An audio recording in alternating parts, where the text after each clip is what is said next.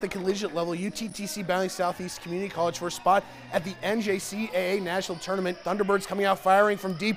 Trey Hugs connecting on a pair of threes. UTTC out to an early lead, but the Bobcats keeping it close for Deck pulls Cipher, gets the ball inside, scoring through contact and a foul. An old-fashioned three-point play for Southeast, but UTTC was lights out from beyond the arc. Mark Fassett Jr. nailing a trio of triples in the first half, extending the Thunderbird lead as UTTC wins the North District title, moving on to the national tournament, winning 83 to 80. The women's team for UTTC facing Iowa Western in the North Central B District Championship. Final seconds first half, Thunderbirds trying to get it inside and the ball is tipped, but Sunny Bellegarde connects on the buzzer beater just before half. Second half, Reivers on the run past to McKenna Minter, who drives to the rim, scoring with this acrobatic finish, extending the lead.